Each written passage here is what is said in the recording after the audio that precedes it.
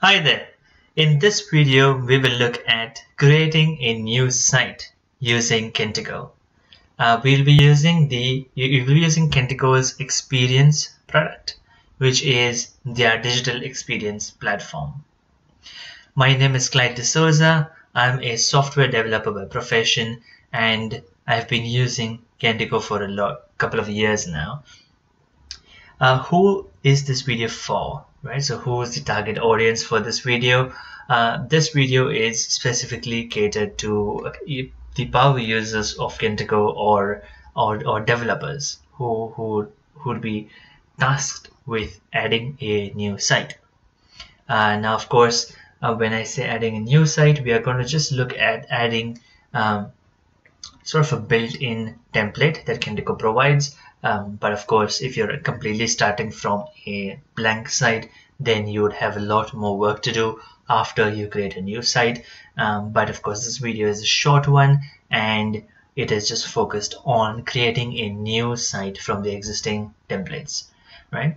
So if you're not sure what this entails, just hang around, hang around, and we will have a look at the process, the steps, uh, and what it looks like in just a few minutes. Uh, as usual, if you're uh, you know if you're really wanting to have a look at um, Kentico, head over to kentico.com. Uh, and if you're wanting to have a look at the Xperience product itself, have a look at xperience.io. For now, let's head over to our site. Uh, so we have a Dancing Goat website that's running on 661 uh, and what we want to do is we want to create a new site. Um, now what we want to do? Uh, so I'll, I'll, give I'll you know describe the requirements in just a bit. But the first thing you know you would really want to do is head over to the admin portal. So head over to forward slash admin and enter the username administrator. In your development environment the password will be blank. Uh, of course it is highly recommended that you change this password. Um, now we have already created two sites. So this Kentico has you would know is a multi-site platform which means you know on a single instance you can actually run multiple sites with obviously different URLs um, and in this case we already have two sites available to use. Now what we want to do is we want to add a new one. We want to add a third one. Uh, and so that should appear in this in this drop down as well to do that uh, we will click on sites. So it should be here in your dashboard or if you click on the applications sorry click on the Kentico icon to open the list of applications you should be able to search for sites. You will see that there's two sites running one on localhost 660 and the other one on 661 let's click on the new site wizard to add a new site. The first thing that it will ask is are we creating a new site using a wizard or using a web template? And if you don't know what that means uh, it's really mentioned over here. So if you choose to create a blank site the wizard will guide you through the process of creating a new site. If you choose to use a template you will be able to use one of the predefined web templates. And now as I mentioned if you're using uh, you know completely new site creating completely blank new site you'll have to do a lot more um, stuff to edit. Uh, and of course that might eventually be the case for you if you're actually building a new site. But let's just look at uh, you know using uh, an existing template uh, and see what it looks like and and what the process looks like really. So we click on using a web template click on next. This should show up with the templates that are available for us to use. Now as you would have, as you would have noticed we we are we are using Dancing Goat at the moment. We also have corporate site installed. Uh, so we want to really you know install a different website. Um, there's a whole bunch of things. Again you have the option to create a blank site um, or one of these other options over here for the sake of this demo let us let us let us let us uh, create an e-commerce site. So let's select this as a template and click on next. Uh, we'll leave this name as e-commerce site but of course feel free to give it a more suitable name. Um, the code name is yeah you can edit it but I think let's just keep it at the default the domain name. Now we are already at 661 we are already using the port 661 so obviously we can't we can't use the same port um, uh, because this site is already running on the port. So what you want to do is you want to change it to some other one. But um, to see uh, to really to really update it to another number we need to make sure that that particular port on localhost is free to use. uh, and to do that uh, you check with IIS so hopefully you have you have IIS installed on your PC uh, we can see on Dancing Goat website which we currently have 661 and 660 running. Let's try to add a new binding right? So click on bindings um, and add a new one. Um, let's name this 665 hopefully this should be available. There you go it is. Um, and um, so we'll be using this new site on the port number 665 uh, and close this for now. And now that we know the port number we'll click on 665 click on next. Now the object selection takes you through the whole process of what you really want to import uh, when you want to create a new site the if you're using this template obviously the recommended is to leave the default selection as is. Um, but of course if you want to exclude certain features then you're most welcome to do so. Just as an example um, let's have a look at um, let's have a look at custom tables. Hopefully there should be something in there.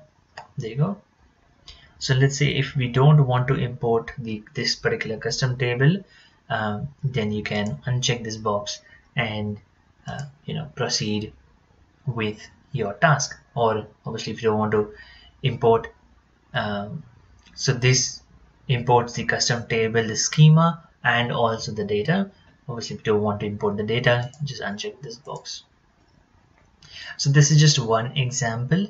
Now if you uh, click on each of these plus icons. You will reveal a lot more um, you know a lot more contents.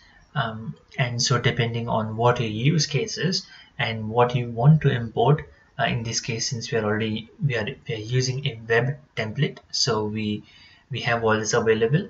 Um, and so you know depending on what you're trying to build you might want to um, import a few things and exclude a few things or you just want to import all the objects and leave everything um, and leave everything that checked has as the defaults right? Uh, so let's do that. Uh, and because we really want to see what the process looks like click on next. And this should begin the process layout uh, process uh, of importing the site. Uh, so this takes a while uh, so meanwhile let's actually have a look at the documentation page from Kentico so let's say um, let's search for Kentico creating a new site. Oh I should have actually clicked the other one. Let's go back click on this one because it talks about Kentico 12 creating new sites from templates. Um, and this is essentially what we are doing aren't we uh, so this is the documentation page if you want to have a look at it. If you want to read it um, this is where you would go. Um, we followed pretty much the same steps. Of course there's a whole lot of information um, that that is available over here. Currently we are in step 5 uh, we're just waiting for it to finish. Um, but this is the page that you will go. I will link this page in the video description so so you can uh, you can click on it and have a look. Um, this is for portal engine. Uh, if you are creating it on an MVC then it takes you to a different page. So you have creating new sites from templates. So I'll link both of these pages um, and so that you are you have uh, you know you have this this this link with you to refer to when you want awesome. So step number five has been completed. The import process has been completed. Um, and step six basically just tells us that the site is ready. Let's click on finish to complete the process. As you can see we have an e-commerce site available to use. Uh, one thing that you notice is that this drop down does not immediately show the e-commerce site uh, to, to to make sure that we have this available. Uh, we can sign out and we sign in back. And once we sign in back the drop down gets updated to e-commerce.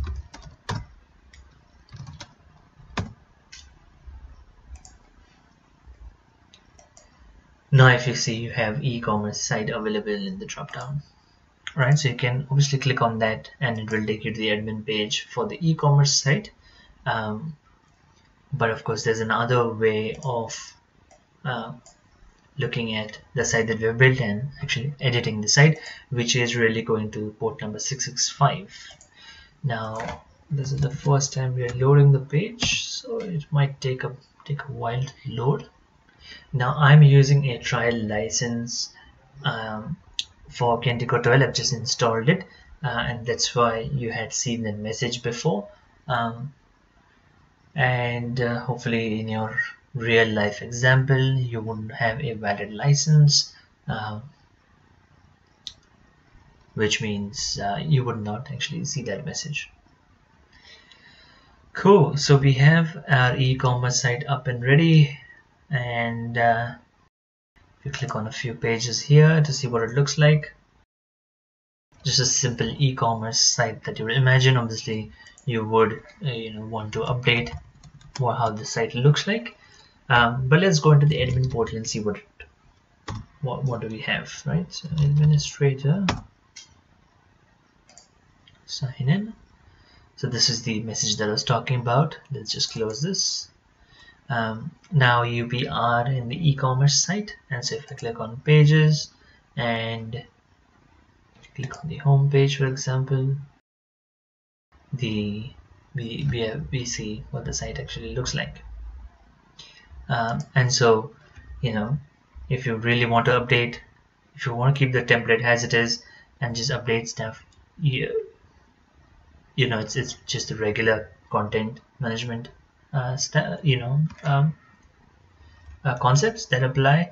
Um, yes if you want to update any one of these products uh, you'd go click on a particular product and update update it um, and then of course make your changes available so that's available for the users. So this was a quick simple video on how to add a new site using the template. Um, again I will link the the article in the description of this video. Um, but of course if you have any questions uh, please post it in the comments of this of this video and I will try and answer as many questions as I can. Um, as with any other video do subscribe for uh, you know for um, notifications when I when I upload new content to this channel. Uh, and of course like the video and share this video with your network if you liked what you saw. Alright until the next video uh, take care and stay safe and, and, and bye bye and thanks for watching